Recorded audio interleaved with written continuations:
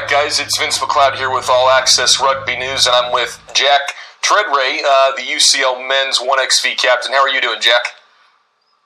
Yeah, I'm very good, thank you. Very good. How are you? Yeah, you know, hanging in, enjoying the Southern California weather. What about you? Well, the weather's pretty crap here, so yeah, probably a lot worse than yours. Well, that's what you get for living in England, so. Sorry about that. Hey, big match on Friday, right? Oh, huge. I mean, it's, um, without trying to hype it up too much, it's become a very big deal this year, especially um, for us, the team. And from last year, I'm not sure, um, certainly people won't have heard, but last year we lost on the last play of the game, literally last play, 84 minutes through the game, and it was heartbreaking stuff. So we're, yeah, pretty pretty excited to put that uh, put that defeat to the sword really, and uh, produce a very good result on Friday. I hope. Yeah. What is what is the preparation like for everything for you? Um, well, funnily enough, I sort of tried not to change too much throughout the season because I think the tendency, of course, would be to train normally for the whole season and then to suddenly do loads and loads of training just for this game. And so what we sort of said was that we're just going to train well all year and do nothing different in the lead up to this game and just try and make it another game so that people don't get, you know, way too nervous or way too hyped up for it. Got it. So we're trying to keep the emotion in check mainly and just play the game the way it should be? Well, I mean, obviously, I mean, it's going to be possible. It'd be possible to stifle feelings and emotions towards this game, but that's pretty much what we're trying to do is keep everyone, keep everyone grounded and keep everyone sort of thinking what they want to do during the game rather than getting too caught up in the whole rivalry, I suppose. Got it. Next thing, you know, we're playing at the famous Stoop, right? One of the best Aviva stadiums in England, hands down. How excited are you guys in the UCL lads for this opportunity?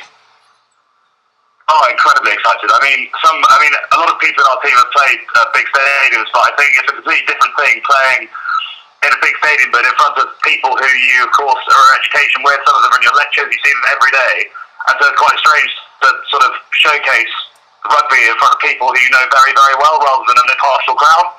And I think we're very much looking forward to that as a difference from some of our weekend rugby that some of us play. Absolutely. To going back to what you were saying before, you know, close loss last year. Do you have many guys on the same team as last year that remember it, or is this kind of more of a fresh squad that isn't really going to let that affect them from what happened in eleven? Uh, well, I think it was it was one of those things, that was so serious at the time. It affected a lot of people playing or not. I think it was it was an incredible game to watch. Don't get me wrong. It was for the people who went to watch a game of rugby. Incredible, incredible game. But I mean, this year we've still got, I'd say, probably three of the same people starting, maybe four. Um, and so it obviously still, it doesn't, you know, it's not still upset about it or anything, but they'll definitely still be in the back of their minds. And we're still trying to, we're going to move on. Where we, unfortunately, we actually had a match today as well, which wasn't ideal, and uh, we're trying to move on from that as quick as possible, so we can get preparations fully ready for the big, you know, the big, the big one on Friday. Got it, absolutely. Let's think. You're doing well in league thus far, right? You guys are nine and zero now. Are you nine and one? Is that correct? Uh, Close yeah, we're very, doing very, very well in the league. Actually, all too well. Yeah, you guys, you got guys like Ollie Marshall, right? I read his strike rate. He's at two point two. We're some of the best in the Premiership, right? Chris Ashton's only at 0.83. So you got a guy that's absolutely yeah. obliterating on the wing. How do guys like that change a mentality in terms of your attack for a game like varsity? Well, I mean, we're very lucky. He's um, Ollie is very, very, very, very fast, and um, a lot of his opposite men. He's quite, he's very well built now, but he's only about five foot four, five foot okay. five, eight, five six. So he's quite short. So he gets often gets like ripped off by his opposite man until he gets the ball and just goes round the outside of them. And he's, as you said, averaging two tries a game, which is obviously in any any scoring sport. That someone averages two tries a game is absolutely unbelievable. So he's very useful to have around? Absolutely, it's the Peter uh, it's the Peter Stringer syndrome. So, guys, I'll rate yeah. you, and uh, you're good to go on that one. That's fantastic to hear, though, for him. Are there any other guys on the team? You know, outside of yourself, it's okay to not be modest, right? Any big attacks that you guys are looking for? No, I mean, I think as I said before, we're very lucky this year. We've got a very strong squad of players who all want to succeed and all want to do very well, and ultimately all get on very well, which I think is very important, of course, with the whole like training together, being together, being around each other. I mean, we've got yeah, there's just lots of good players. There's no weak links as I can think of.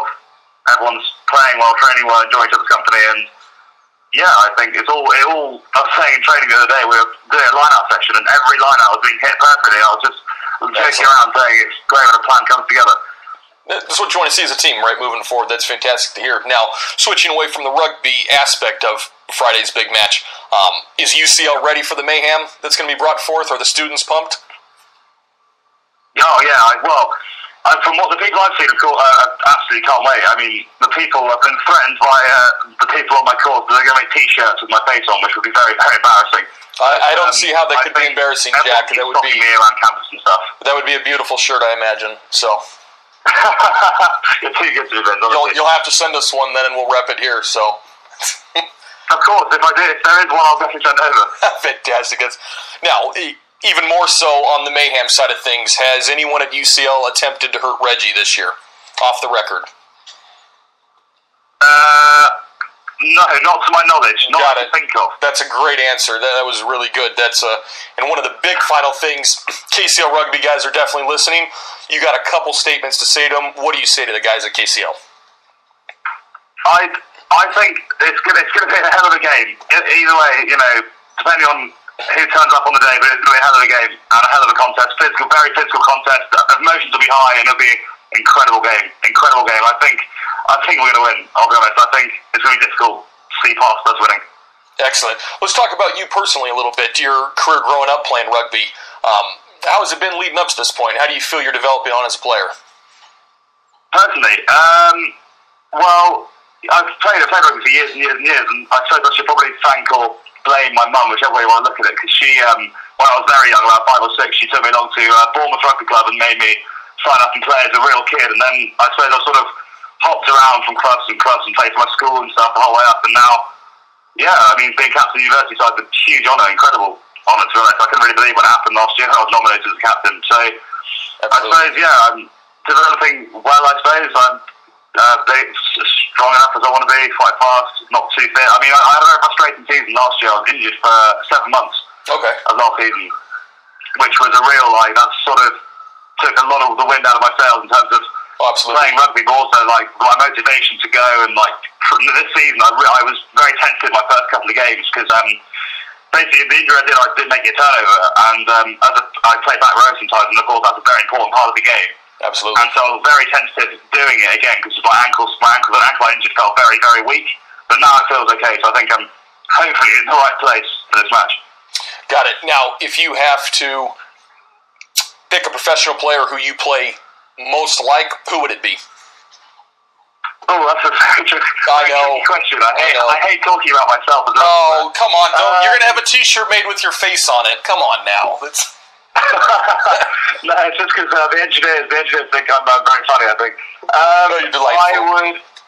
I try and model myself on uh, Tom Croft as a player. Good, but obviously he's a, he's a fantastic player. Absolutely. And um, he's I'm quite well, but I'm the same height as him and a bit heavier. But he's obviously very athletic and very fast around the park, but much faster than I am. That's okay. So I'm trying to yeah shift my uh, shift my sort of build around so I can be similar player to him. To. That's awesome. That's a hey. Look, it sounds like Friday's going to be a very big one for you guys, and definitely wishing you all the best of luck on it, and uh, all your mates. And we'll be watching live since it is going to be televised live stream around the world. So you might just be famous, Jack. oh no! Please stop it.